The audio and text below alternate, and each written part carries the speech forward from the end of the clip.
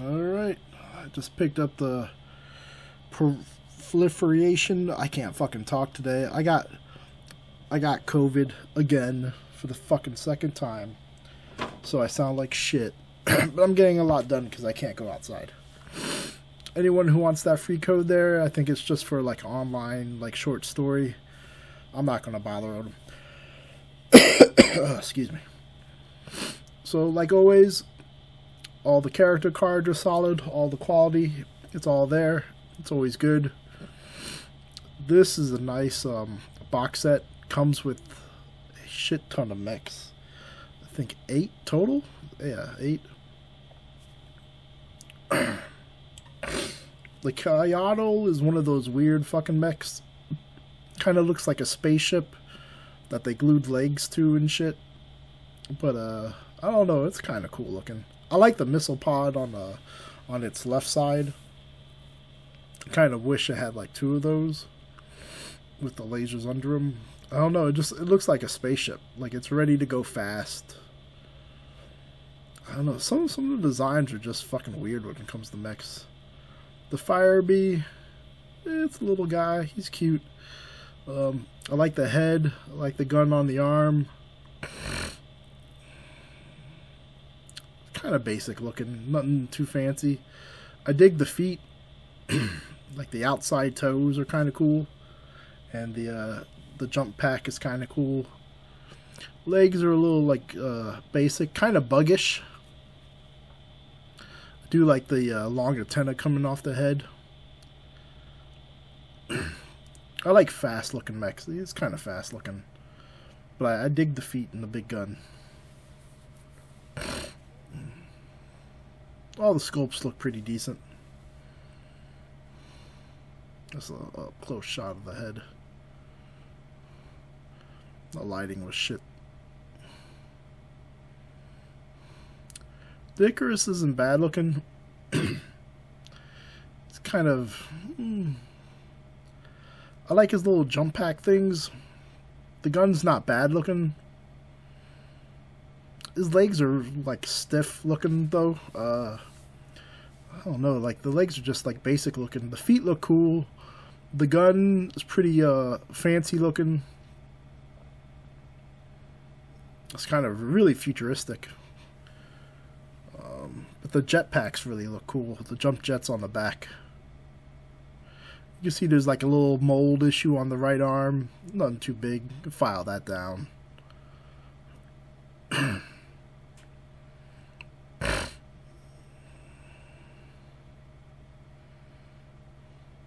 think he just like like kind of like a meh looking mech.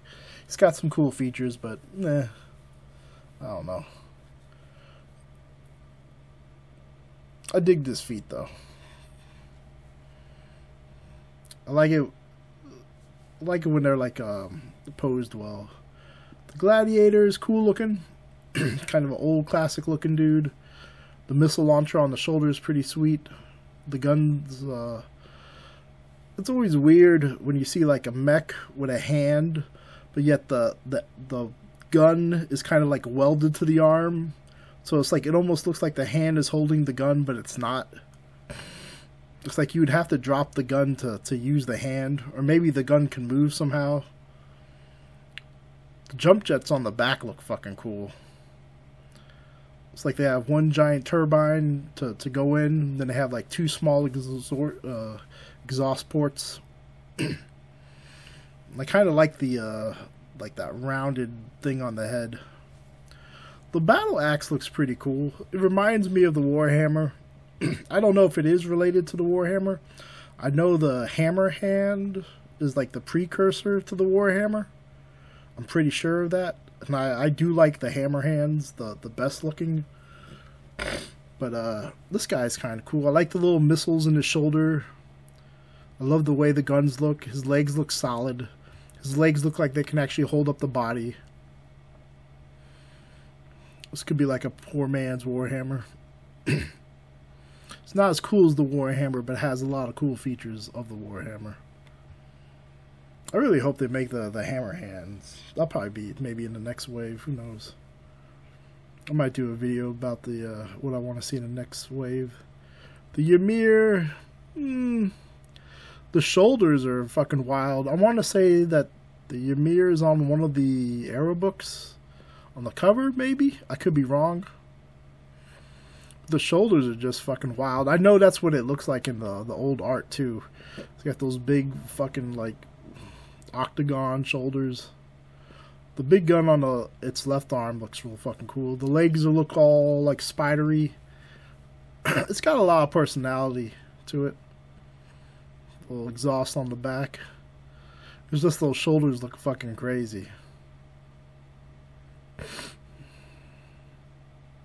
Definitely like a like a 80s or early 90s throwback with the style.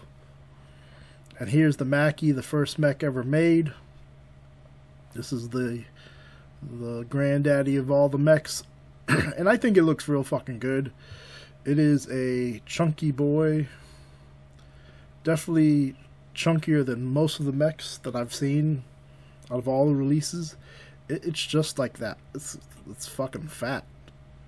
It's just a thick ass piece of plastic. I think they this is probably the best like when it comes to detail and stuff, like out of this box set, this is it seems like the the mech they put like a lot of love into it. And maybe that's because it's like the first mech, but uh they did it. I think, in my opinion, they did it a lot of fucking justice. Because if you look at some of those old pictures, uh, the the paintings and art from the '90s, the the Mackie looks fucking ridiculous, with those uh, two like belly guns and shit.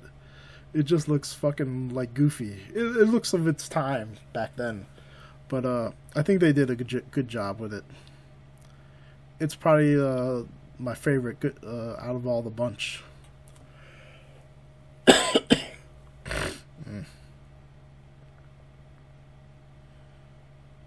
But that's pretty much it. Um, hopefully this week I'll be well getting better. The whole fucking family's got COVID, the girlfriend and the kid, so at least we all got it together.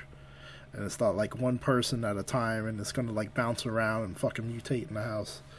But uh, hopefully this weekend, if I'm feeling better, I'm gonna go to Barnes and Nobles and pick up the uh, the new exclusive for them, and then maybe pick up a uh, another um, a mat to do another mat uh, video. Other than that, that's pretty much it. All right, take care. Bye.